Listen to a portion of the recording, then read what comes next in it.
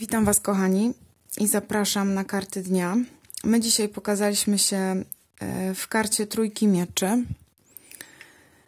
Tak więc e, ten dzień będzie być może naznaczony tą e, łzą, która tutaj jest widoczna na twarzy tej kobiety.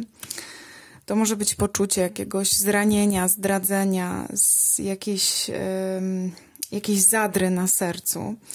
Myślę, że to jest związane z tymi decyzjami, które zostały podjęte wczoraj, bo wczoraj był właśnie taki dzień odejścia.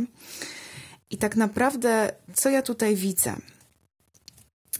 Wasza inteligencja, umysł przyjęły to do wiadomości. Jakby głowa mówi, że to, co się wydarzyło, to, od czego odeszliście, to, to jest dobre, bo tutaj ten król mieczy to jest, y, on jest właśnie reprezentantem takiego zdrowego rozsądku.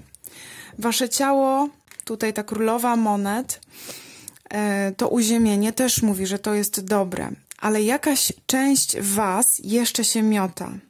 Jeszcze ten rycerz y, tutaj się pokazał razem z tym diabłem. Popatrzcie, jak tutaj czerwono się zrobiło jakaś część z Was jeszcze nie chce tego, tego odejścia od tego, co Wam nie służy. Także wróćcie do, mm, do tego, co się działo w niedzielę, do Waszych przemyśleń, refleksji i zastanówcie się, nad czym tutaj jeszcze można e, popracować, ponegocjować z tą częścią Was, która się jeszcze na to nie zgadza, bo umysł klepnął decyzję. Ciało też sprzyja i prawdopodobnie lepiej się poczujecie. Ale jakaś część Was, może to są emocje, może to jest podświadomość, pod, podświadomość, nie wiem tego, e, to już, to już sami się e, ze, ze sobą dogadajcie. No jeszcze, jeszcze za bardzo nie chcę odejść, bo jeszcze tutaj trzyma ten, ten diabeł. Albo patrzcie, ta klatka jest otwarta, bo wystarczy po prostu krok, no może dwa, żeby, żeby odejść od tego, co nie służy.